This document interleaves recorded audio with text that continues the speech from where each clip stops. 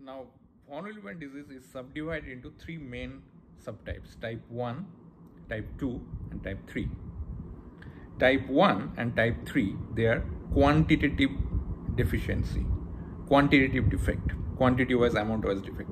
Type 1 is a partial quantitative defect of von Willebrand factor, and type 3 is a complete or near complete severe deficiency of von Willebrand factor. But type 1 and 3 both are quantitative defect, but type 2 is different Type 2 is a qualitative defect of the Willebrand factor. This is a very fundamental thing you need to understand.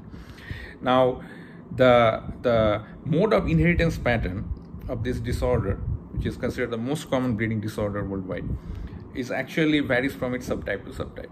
Type 1, which is a partial quantitative deficiency of Willebrand factor, they are typically inherited in autosomal dominant fashion. Type 1 is autosomal dominant.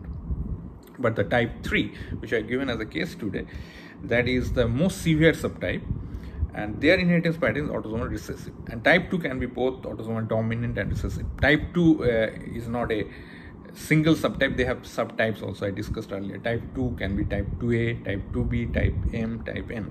And they can be autosomal dominant or recessive. So the basic headline is this that there are three subtypes. Type 1 type 2 type 3 of von Willebrand disease. Type 1 and type 3 they are quantitative defect amount wise deficiency is there. Type 1 is a partial quantitative defect. Type 3 is a complete quantitative deficiency or near complete severe severe deficiency. Type 1 is autosomal dominant inheritance pattern. Type 3 is autosomal recessive inheritance pattern. And type 2 which is a qualitative defect can be both autosomal dominant or autosomal recessive. These are some fundamental concepts. Now i've come to the type 3 which is the most severe subtype of the Willebrand disease. Most common subtype is type 1, around 75%. Type 3 is the most severe and it is a complete quantitative defect or deficiency as I mentioned. So what would happen here that this is an interesting aspect that this can also uh, resemble somehow like hemophilia, hemophilia A, the type 3. Why? Because we know that von Willebrand factor whose complete quantitative deficiency or severe deficiency is seen in type 3 von Willebrand disease they play uh, an important role in both primary hemostasis and the secondary hemostasis to stop the bleeding.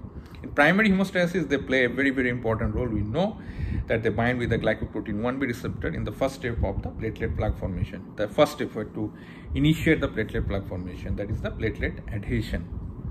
And in that step, what? Von Willebrand factor binds with glycoprotein 1b receptor with the platelet, and that initiates the whole thing, the primary platelet plug formation.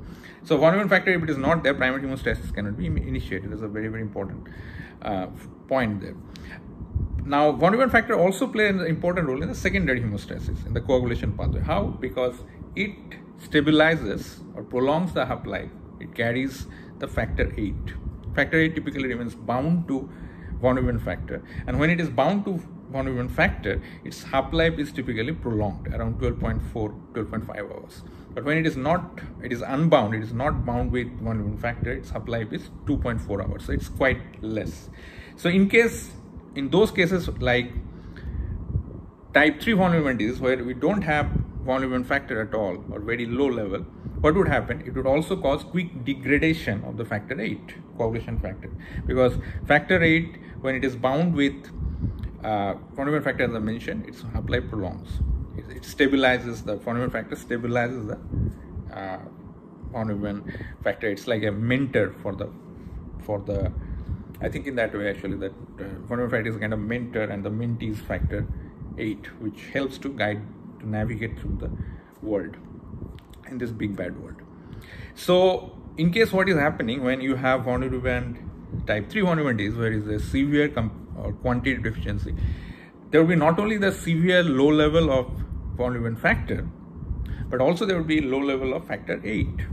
And as a result, it can resemble clinically hemophilia A. So you know that hemophilia, hemophilia A typically presents with, which is due to inherited factor 8 deficiency, present with joint bleeding and muscle bleeding, intermuscular bleeding. So in a patient of Willebrand disease, we not only get mucocutaneous bleeding, which is usually seen in von Willebrand disease. Mucocutaneous bleeding means mucous membrane bleeding and skin bleeding. There could be purpuric spot, uh, there could be gum bleeding, mucocutaneous bleeding, there could be nasal bleeding, epistaxis could be there.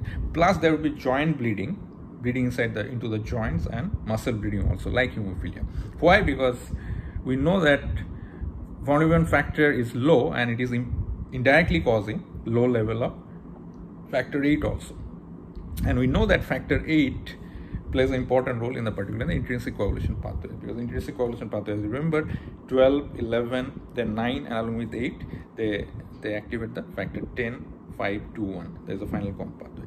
So so that's why in this condition you can also get prolonged APTT uh, you get prolonged APTT activated partial thromboplastin time because activated partial thromboplastin time is actually measure the intrinsic coagulation pathway. And intrinsic coagulation pathway is also hampered in type 3 von Willebrand disease. So that that could impact the the APTT could be prolonged also so the point, the three key points quickly as I mentioned in type 3 von Willebrand disease. Type 3 von Willebrand disease is the most severe form of the von Willebrand disease. It is characterized by complete quantitative deficiency of the von Willebrand factor and it usually presents with not only the usual form of von Willebrand disease that is a mucocutaneous bleeding but also it presents with features which are similar to hemophilia A. There will be bleeding inside the joint, there could be bleeding inside the muscle and here what would happen that not only the Willebrand factor would be completely or near complete deficiency but it would also indirectly impact the factor 8 level. Because as I mentioned Willebrand factor normally stabilizes and prolongs the half-life of factor 8 so when Willebrand factor is not there it's very very low it will also indirectly cause low level of coagulation factor 8 so that's these are the three things or four things you need to keep in mind about the type 3 von Willebrand disease. Thank you so much